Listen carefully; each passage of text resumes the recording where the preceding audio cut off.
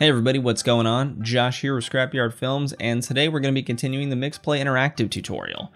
So in the last few videos, we've learned how to make a button, uh, we learned how to make the button play a sound, we learned how to make the button show an image, and we learned how to make the button produce some text, all on that area. So next, we're going to dive a little bit into the deeper part of it, and we're going to learn how to create a main menu of sorts. So you're going to learn how to set it up and get your buttons all correct, and then we're going to continue from there. And depending on how long this tutorial lasts, we may break that up into the next part. So what we're going to do, I'm going to explain, is we're going to remove this air horn button, and we're going to make a button that regular viewers can enter, and then we're going to make a button that VIP users can enter. And so with VIP, you can um, customize who enters that by being either subscribers um, to your mixer, or you can have special names just added in. I have one on mine called patrons, and so I custom add their names in, and then they're allowed to press that button. And if you're not a subscriber or patron, that button will not let you enter that room. If you load up Mixer, top right, go to Dev Lab. I already have it open in another tab. And we're going to see our air horn button, and we're just going to remove it. We don't have to delete it. We're just going to get it out of the way. So we're going to add a button right now, and we're going to call this casual viewer. Hit add. Click the little arrow. Let's call it casual viewer. We're gonna hit a little X and that's good. This is a key thing to remember when you're working with different scenes and different rooms and stuff like that. You wanna name these controls an abbreviated version of your room. So right now we're in the main menu, so we don't have to really adjust it any different, but let's just say we have other rooms open like when our casual viewer hits the casual viewer button and it goes into their casual viewer room we want to make sure all our buttons inside there you know are very similar like c dash and then the name of our button. So casual or something like that. And then if they go into the vip room we want v dash something it's just for organizational purposes and so you don't repeat buttons. And basically, so Firebot doesn't get confused if you have buttons that are called the same thing. So if you have a button on your casual and your VIP room and they're both called laugh, Firebot can get confused on that because they're named the same thing. I like to separate mine out. So for casual viewer though, we're gonna keep it right there and then we're gonna add another button, call it VIP viewer. I'll space that out right there. Add the button, cool. Let's name it VIP viewer. Great. We don't need any spark costs. Tooltip, VIPs only. Then we say close the X, and now we have our buttons. So uh, we can even make a third thing and call it, we'll make a label. How about that? Lou. Main menu. And then we hit uh, add. And then we add this. Text main menu. Text color. Now nah, we'll make it like red or something like that. Bold. Let me close this. So we drag our main menu right here. Let's make it long. That looks about centered. And then we drag our casual viewer button right here. Let's make that a bit bigger. And then we drag our VIP viewer right here. Let's make that about the same size. Something like that. Put it over here. Oh. All right, so once we've done that, we can hit save, and we have successfully made our buttons. They don't do anything yet, but they're gonna go into different places. So next thing you wanna do is make the rooms that they're gonna go into.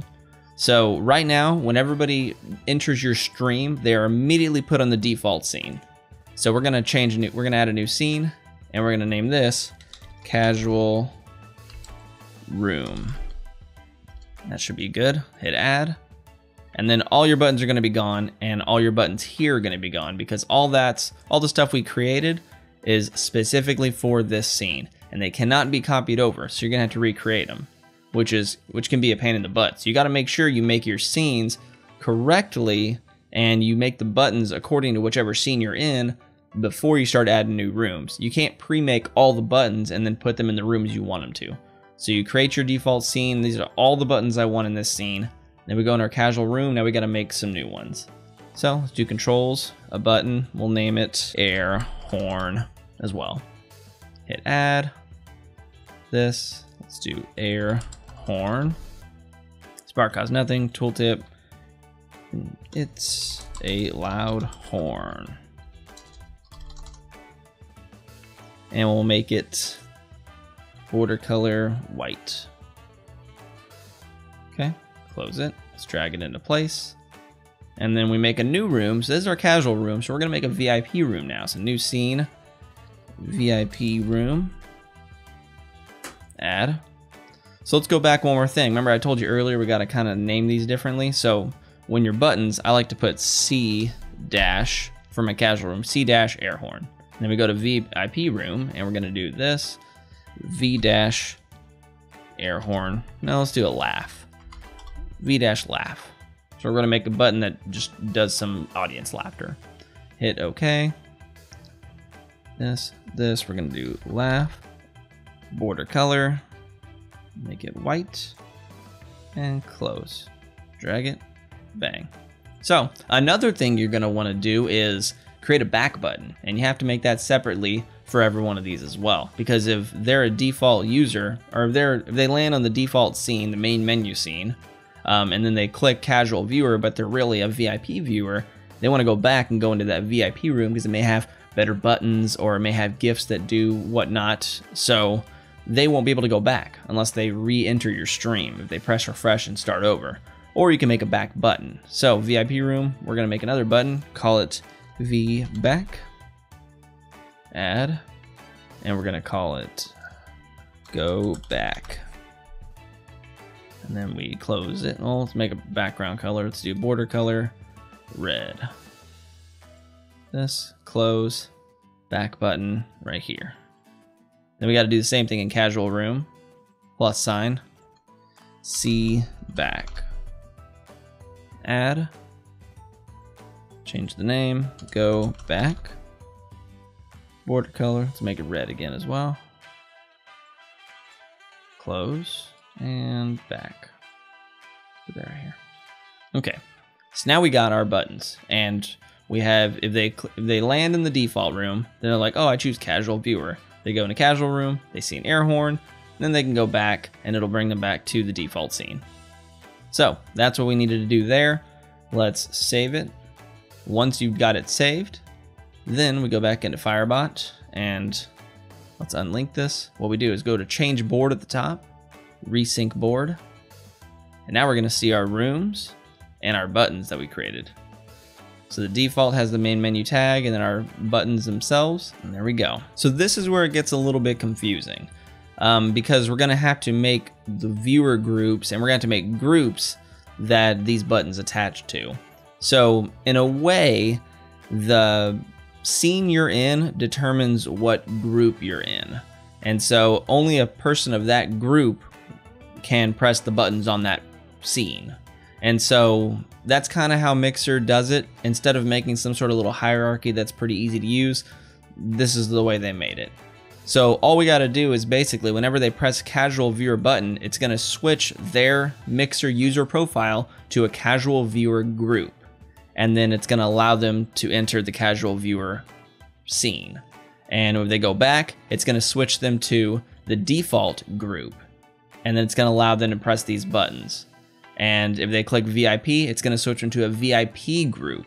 And that's pretty much, if that makes a little bit of sense, that's kind of just how it is on that aspect. Um, so what we got to do first thing is go to viewer groups at the left and we have to create the groups. Now I already have these created from my actual mixer scene that I use, my mix play scene.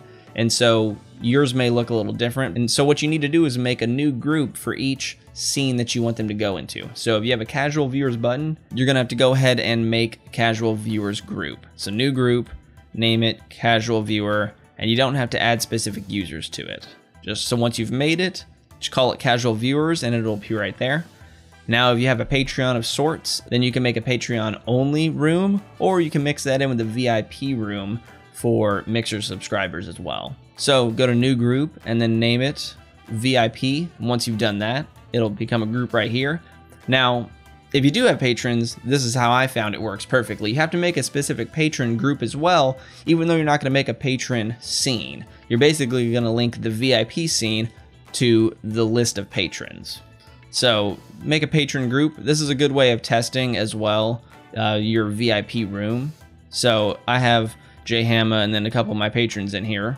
And I could remove J Hammah so I can show you um, what it looks like with a different account logged in and them trying to hit the VIP button when they're not in fact VIPs. So I'm gonna remove JHammah and save the changes.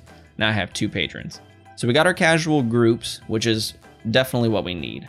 Now once we've done that, go to buttons, and then we are in the main menu. So next we're gonna hit scene settings over here at the top. Now this is basically the default menu that your users are gonna land on per how you classified them. So if you have a big list of patrons and they enter your mix play, it automatically gets noticed by Firebot that, hey, they're a patron, they're gonna be dropped in BAM, wherever you chose patrons to be. So we're gonna click default and we're gonna put our patrons right here and our subscribers right here. These are the two extra people basically. So everybody's a default user or a casual viewer except for patrons and subscribers. So we still want the patrons and subscribers to go to the main menu to choose where they want to go. So we hit save and now our default people, patrons and subscribers, which classifies every one of our viewers, at least they're all now in a group, are all gonna land on the default when they first enter your mix play. And so this episode's looking like it's coming to an end. And so I know we're not done, but I'm going to be splitting this one up because it's getting pretty long. And next episode, I'm going to continue this whole main menu process. So thanks for watching. If it helped you out, be sure to like and subscribe. That'll help me out. I got plenty of other stuff on my channel to check out. Tons of tutorials, video games, video editing stuff, Streamlabs stuff. Check it out. You might find something you like. But thanks again for watching. I'll see you guys in the next video.